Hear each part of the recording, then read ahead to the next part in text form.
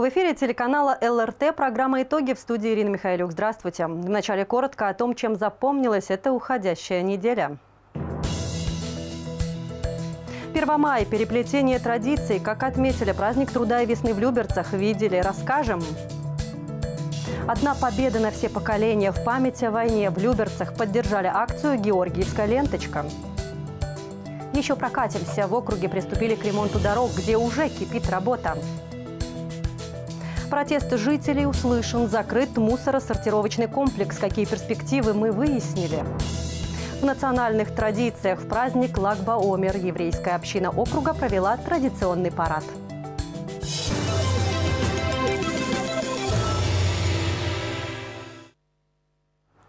А теперь обо всем по порядку и более подробно. Как встретишь май, так его и проведешь. И судя по насыщенной праздничной программе и настроению люберчан, Первомай в городе запомнится надолго. Наши корреспонденты пообщались с теми, кто любит праздновать и отдыхать активно. Одними из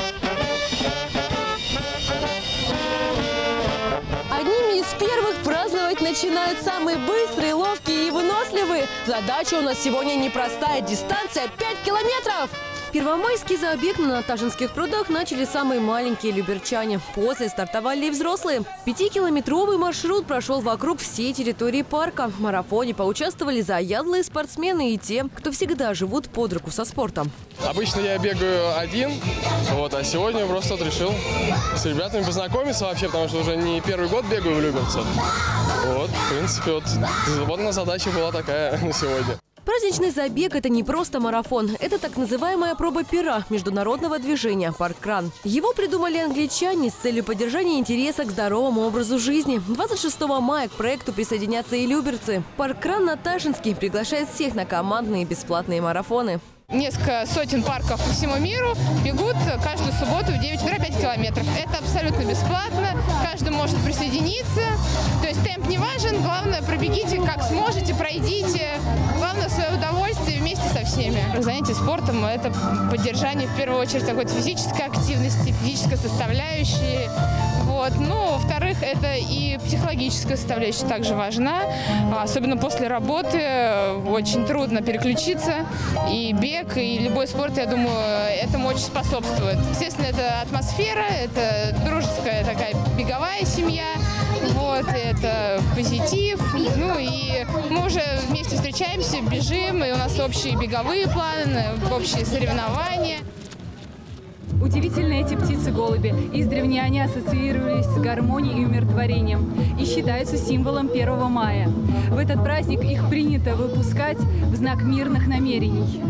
В знак солидарности всех трудящихся выпустить на волю белых птиц мира вышел глава городского округа Люберцы Владимир Ужицкий. Раз, два, три! А 1 мая в Люберцах отмечается размахом. В Центральном парке собрались жители со всего округа. Глава округа выразил слова благодарности всем пришедшим и поздравил с праздником. Все здесь есть для того, чтобы мы могли отдохнуть, набраться сил, повстречаться с друзьями. Я всем желаю хорошего настроения, хорошего сегодня отдыха и слава люберцам!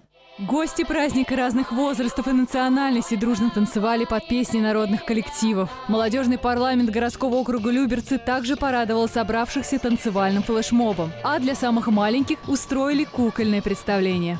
Ну как думаешь, Миша, мы хорошие друзья? Я уже решил! Я не хочу иметь дело ни с вами, ни с вашими сигаретными друзьями! Май – это время природы, свежего воздуха и буйства цвета. И пока еще живые цветы не успели распуститься, в Наташинском парке делают бумажные и сладкие. Творческие мастер-классы в этот день стали центром притяжения для малышей и их родителей. На одной из площадок рукодельники мастерили оригинальные поделки – цветы со сладким сюрпризом внутри.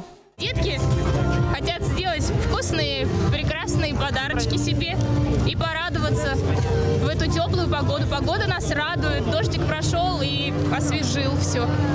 День чудесный. Другую площадку организовали талантливые представители сообщества «Мамы офлайн». Участникам они помогали собственными руками сделать весенние открытки. Создаем с детками и взрослыми цветочные открытки из бумаги. Причем 3D-открытки. А, Мастерим, учимся складывать листочки. Мелкая моторика у деток развивается. Настроение прекрасное. И плюс ко всему открыточки забирают с собой. А, Мы их подписываем, и их можно подарить родным и близким. Мастер-классы всегда востребованы. Это способ общения, способ отлично провести время. А в нашем парке еще и на свежем воздухе. Какое 1 мая и без шашлыка. Ловкие повара представили широкий ассортимент блюд на мангале. Это и шашлык из свинины, из птицы, из рыбы, и, конечно же, запеченные овощи и картофель. Сладкая вата, соленый попкорн, карамелизированные яблоки, всевозможная выпечка. Обилие блюд на любой вкус. Но настоящим гвоздем праздника стал огромный русский самовар, специально привезенный для люберчан из Тулы. Самовар предназначен для праздников, для больших. В нем 300 литров. Это чемпион мира прошлого года по, на, в номинации «Самый высокий самовар». После сытного застолья пора и подвигаться. Для детей на территории Центрального парка установили всевозможные аттракционы. Каждый ребенок смог выбрать развлечение по душе. Покататься на каруселях, пострелять в тире, попрыгать на батуте. 1 мая объединил жителей и гостей Люберец. Что для вас 1 мая? Мир, труд, мяу. Детство. Советское. Демонстрации.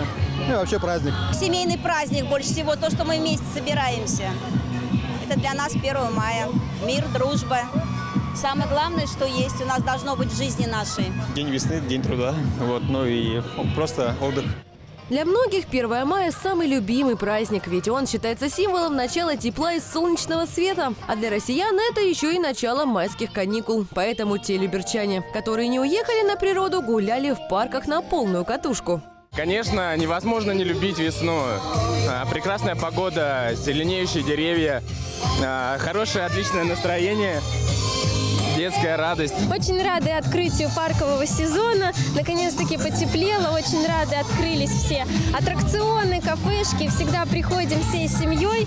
Очень рады, гуляем, вкусно покушать, интересно провести время, много мастер-классов, много концертов и очень рады. Я очень рад, что в настоящее время открылись все парки, такая чудесная летняя погода. И поздравляю всех люберчан с праздником. Аттракционы, сладости, вкусности, веселые ростовые куклы, анимационные программы. 1 мая в Люберцах обеспечил всем и каждому хорошее настроение. А в центре города люберчан и гостей округа ждала еще и концертная программа. Не только в парках отмечают жители Люберец 1 мая. Сегодня, можно сказать, гудит весь город. Так перед Дворцом культуры проходит веселый праздничный концерт. Дарили хорошее настроение жителям десятки ребят, исполнившие свои зажигательные номера. Для маленьких зрителей сотрудники Дворца культуры устроили танцевальные мастер-классы.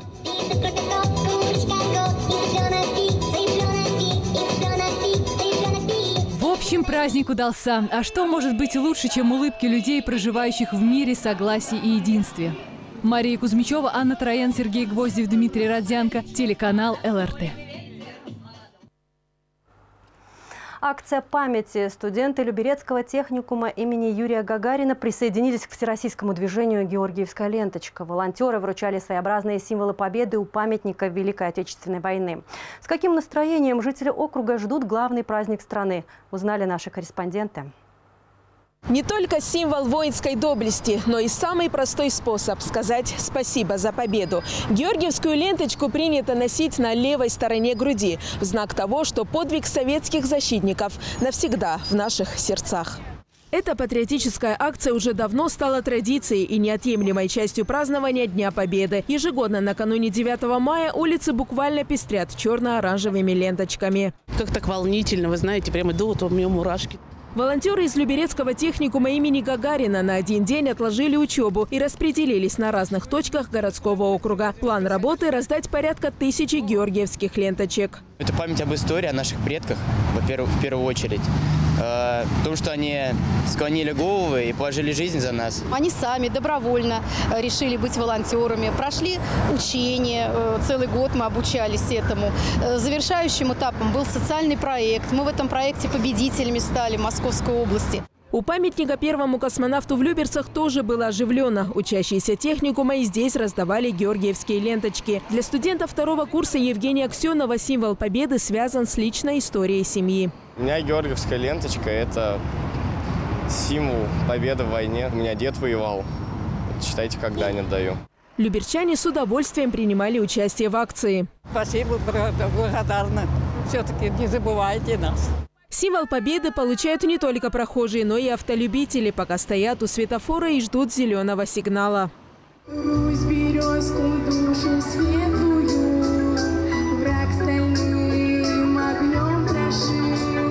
Акцию завершил праздничный концерт, который развернулся прямо на площади у мемориала «Вечный огонь». Песни военных лет, стихи и даже выступления лошкарей. Все это заставляло прохожих остановиться, на несколько минут забыв о делах и времени. Не могли не остановиться. У нас в семье тоже есть погибшие, есть ветераны. Такие праздники, пускай со слезами на глазах, но они должны быть обязательны.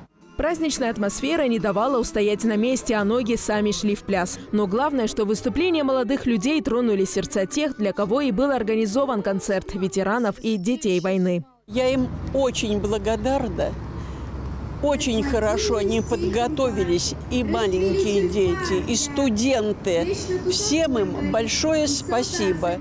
Кульминация праздничного дня – возложение цветов у вечного огня. Студенты, старики и дети несли цветы, чтобы почтить память тех, кто отдал жизнь, спасая Родину. А запущенные в небо воздушные шары напоминали нам, что жизнь – такая хрупкая вещь, должна быть свободной. Луиза Игазарян, Александр Томей, Сергей Гвоздев, Петр Пономаренко. Телеканал ЛРТ. Продолжая тему, отмечу, торжественный салют 9 мая прогремит на восьми площадках городского округа. Люберчане смогут увидеть фейерверк в Центральном и Наташинском парках. Но места для запуска пиротехники предусмотрены во всех городских поселениях.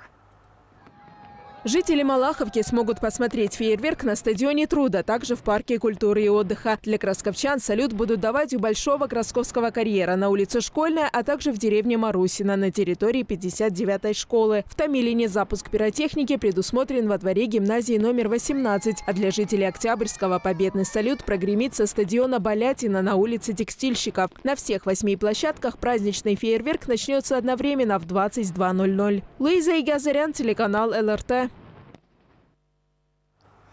Люберцы станут зеленее, а значит еще красивее. 12 мая во время проведения ежегодной акции «Лес Победы» жители городского округа высадят саженцы клена, рябины, акации и многих других декоративных растений.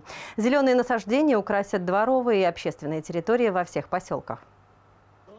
Всего во время акции планируется охватить более 100 дворов. Ожидается, что в Люберцах на придомовых территориях посадят 900 молодых саженцев. Кроме того, по 100 новых деревьев появится в каждом поселке городского округа. Посадка зеленых насаждений предусмотрена и на общественных территориях. Так, масштабная патриотическая акция пройдет в Центральном парке, на проспекте Победы, на аллее Локтионова, возле реки Чернявка, у храма в Октябрьском и в Томилинском парке сказок. Традиционно участие в акции «Лес Победы» примут управляющие компании, ТСЖ, а также сотрудники администрации, социальных учреждений и предприятий. Для жителей подготовят посадочный материал, инвентарь, музыкальное сопровождение и торжественные мероприятия на дворовых территориях. Луиза Игазарян, телеканал ЛРТ.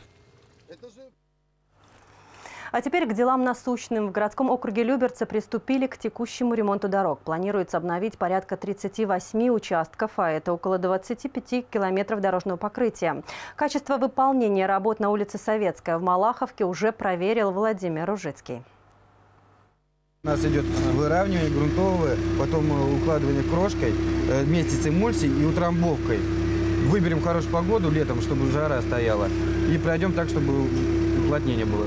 Утро для работников дорожной компании задалось не только теплым и солнечным, но и весьма активным. Дело в том, что начался текущий ремонт дорог по всему округу. Старт наметили на улице Советской в Малаховке. Проинспектировал начало работ глава городского округа Владимир Ружицкий. Нам удалось в прошлом году сформировать э, перечень дорог, определиться с деньгами, потому что мы же не в состоянии э, заниматься ремонтом всех дорог самостоятельно. Э, эти все работы проводятся совместно с правительством Московской области. Поэтому были выделены деньги и у правительства Московской области, были деньги заложены в нашем бюджете. Мы провели аукционы. 38 участков автомобильных дорог общей протяженностью около 25 километров, по словам Владимира Ружицкого, будут отремонтированы в этом году. Работа строится в два этапа. В первый этап войдут 20 дорог общей протяженностью 11 километров, во второй – 18. Их протяженность порядка 14 километров. Эта работа производится каждые пять лет, каждые пять лет, и является лучшим источником восстановления дорог. Это не ямочный ремонт, это не какие-то мелкие э, ремонт картами, а полностью будет заменено покрытие. К концу мая в Малаховке завершатся работы по ремонту дороги на улице Советская. Также будут сделаны улица Почтовый тупик и улица Герцена. Стоимость работ по городскому округу Люберцы составит чуть более 160 миллионов рублей. Финансирование будет проходить за счет субсидий и Дорожного фонда Московской области и местного бюджета. Мария Кузьмичева, Петр Пономаренко, телеканал ЛРТ. Цель достигнута. Мусоросортировочный комплекс в промзоне деревни Машкова, который изматывал местных жителей ужасными за запахами, закрыт. Что будет на этом месте и готовы ли собственники смириться с прекращением деятельности? В ситуации разбиралась Мария Кузьмичева. Мы будем ходатайствовать об отмене лицензии вот Мы с тем тоже будем домом вместе. ходатайствовать, чтобы не отменяли. Раннее утро. На территории мусоросортировочного комплекса страсти кипят не по-детски. Дело в том, что здесь прошла проверка по факту его закрытия. В ней приняли участие сотрудники управления окружающей среды городского округа Люберцы, депутаты и местные жители. Мы посмотрели, что действительно с данной территории мусор вывезен. А, На данной территории мусор не размещается. а Сортировочный комплекс у нас не работает. То есть э, предприятие закрыло свою производственную деятельность на сегодняшний момент на данной территории. Напомним, 11 апреля 2018 года было проведено комиссионное обследование мусоросортировочного пункта ООО «Экострой Прогресс», в ходе которого были установлены нарушения требований земельного и природоохранного законодательства, а именно нецелевое использование земли и нарушения в части размещения отходов. Сейчас правительством проводятся работы по полигонам по размещению отходов, а также задействованы все и проверяются все мусоросортировочные комплексы. Наталья Туликова с 2003 года проживает в Краскове. Это в одном километре от этого места. А с 2012 года в СНТ «Долина». Как признается жительница, от большого потока машин и неприятного запаха страдает огромное количество людей, проживающих неподалеку. С э, закрытием свалки в Балашихе здесь не- до невозможного объема увеличилось поступление мусора. В понедельник свозится пищевка со всех домов с Москвы, и получалось, что за 10 минут я насчитала 17 машин. 17 машин пришли, 17 машин разгрузили, 17 раз подняли чаек на полигоне. Как утверждает Наталья Турова, именно так проходит каждый понедельник. Она отмечает, что на даче уже ничего не выращивает. Шум, неприятный запах на протяжении всего дня. От скопления и несвоевременной переработки отходов страдают жители трех СНТ – Надежда, Дружба и Березка. Как утверждает владелец земли, он своими силами решал накопившиеся проблемы. При этом уверяет, что деятельность его организации должна быть возобновлена, так как все необходимые документы и лицензии у него есть. Будем разбираться с администрацией, в связке. Пусть они смотрят нашу документацию, правомерно она, неправомерна. Я думаю, разберутся, поймут, что все правомерно, и, наверное, они опять приступят к работе. Депутат городского округа Люберцы Ренат Бадаев утверждает, что у любого юридического лица есть право оспорить данное решение. Но рейды по выявлению нарушений в сфере охраны окружающей среды и природопользования будут продолжаться. Естественно, этот вопрос будем держать на контроле да, для того, чтобы данный земельный участок использовался по назначению. Никаких бытовых отходов, свалок здесь не было. Что будет на этом месте, решится позже. Но ясно одно, что склады останутся за собственником. И если владельцы земли хотят возобновить свою деятельность, они сначала должны получить разрешительную документацию у контролирующих и надзорных органов. Мария Кузьмичева, Петр Пономаренко, телеканал ЛРТ. Вы смотрите итоги на ЛРТ. И Сейчас к другим темам. В Малаховском музее истории и искусств прошло мероприятие для учеников местной школы-интерната четвертого вида под названием «Звезда Победы». В преддверии 9 мая ребят познакомили с судьбами героев Малаховки. Кроме того, на мастер-классе они своими руками смогли смастерить звезду из георгиевских лент. В Малаховском музее истории и искусств непривычно шумно. Здесь воспитанники школы-интерната четвертого вида, для которых сотрудники музея подготовили патриотическое мероприятие под названием «Звезда Победы». Мы в преддверии великого нашего праздника, да, 9 мая 1945 года, это считается день всемирной, можно сказать, исторической а, победы нашего народа и ее вооруженных сил над фашизмом. И именно мы хотели бы сегодня рассказать детям о подвиге не только нашего народа, но и наших односельчан. Один из героев Малаховки – Юрий Ломакин. После летного училища он ушел на фронт, где был взят в плен и отправлен в концентрационный лагерь в Бухенвальде. Там он геройски погиб. И он бросается на эсэсовца, выхватывает ему кинжал, убивает, но в то же время его убивает. Такой был великий подвиг. Следующая часть программы – знакомство с георгиевской лентой. Оранжевый цвет – это цвет золота или желтый. Золото – это значит самое высокое звание, да? И черный – это дым войны.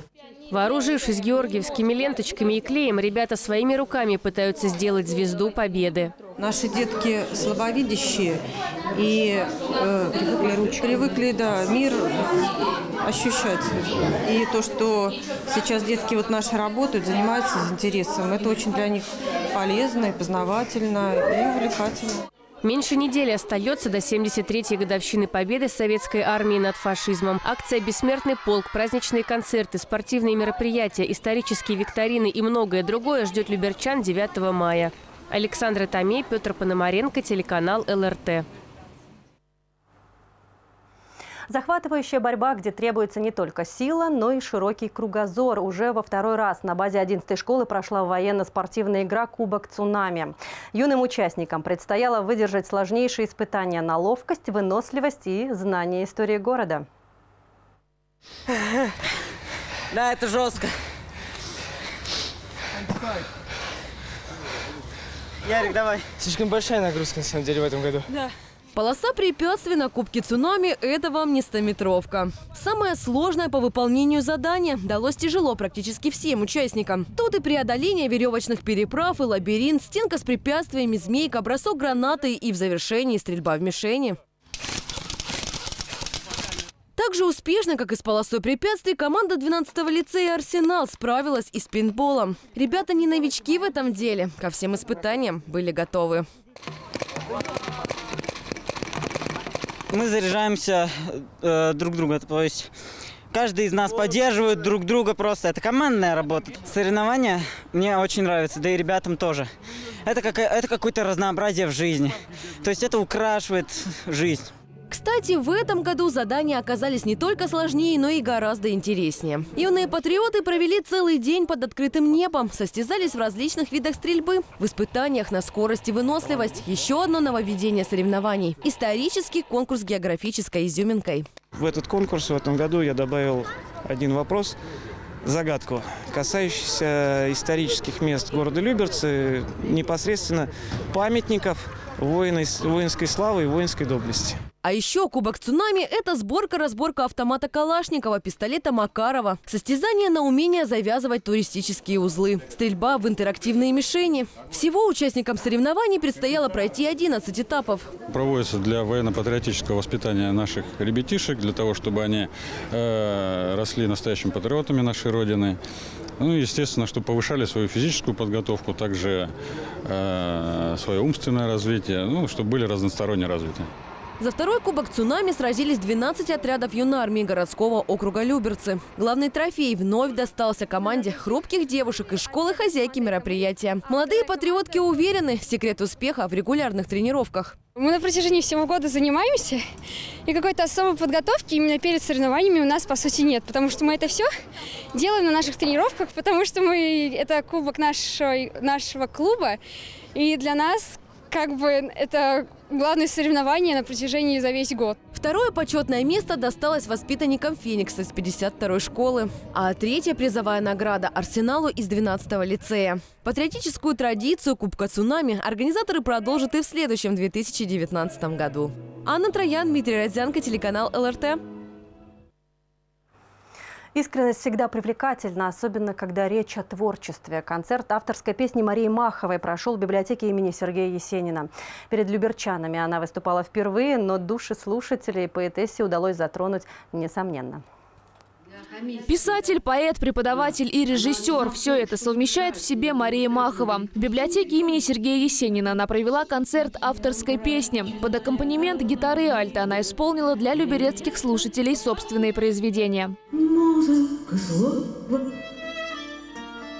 выше обычных фраз. Мы помолчим сейчас где-то птицы летят на юг. Марию Махову до этого концерта многие знали лишь с одной стороны – в качестве поэта. А с Маховой – исполнителем некоторые познакомились впервые. Также, помимо обычных гостей в этот вечер, в зале присутствовали и ее давние поклонники. Вот эти вот роковые нотки, они мне очень нравятся, конечно. А, И энергия, вот она захлестывает. Понятно, что вот ее поэзия, она настоящая. Это переживание сердца. Вот как раз переживание ее сердца, оно затрагивает и мое сердце тоже. Поэтому, конечно, ну это сокровенно. Вот в ее стихах как раз сокровенное. И, как, конечно, может быть какое-то совпадение мировоззрения. Отмечу, подобные творческие вечера библиотека имени Сергея Есенина в Люберцах проводит регулярно. Мария Антонова, Петр Пономаренко, телеканал ЛРТ. А сейчас еще об одной традиции. Теперь уже национальная еврейская община округа отметила праздник Лагбаомер. Он прошел в Малаховском парке культуры и отдыха. Примечательно, что на это торжество помимо евреев пришли и приверженцы других культур и вероисповеданий. Подробнее о национальном колорите и сути праздника расскажет Мария Антонова.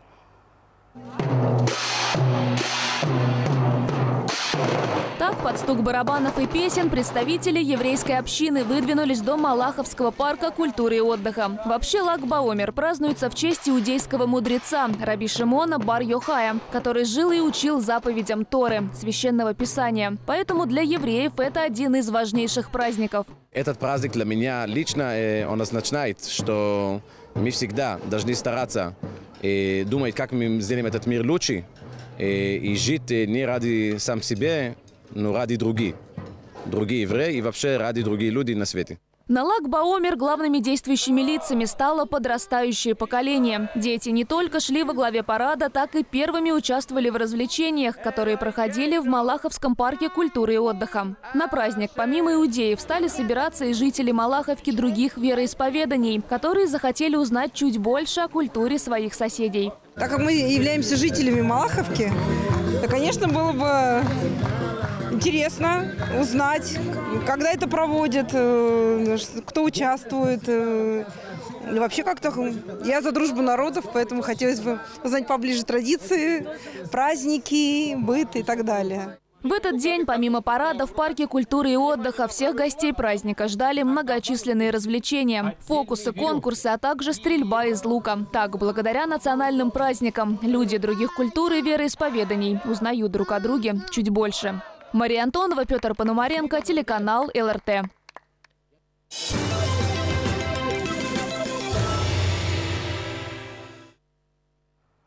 Да, очевидно одно, добрые традиции не имеют национальной границы. Это уже само по себе прекрасно. Ну что ж, таковы главные события уходящей недели по версии информации службы информации телеканала ЛРТ. На этом я с вами прощаюсь. Всем удачных выходных и до встречи.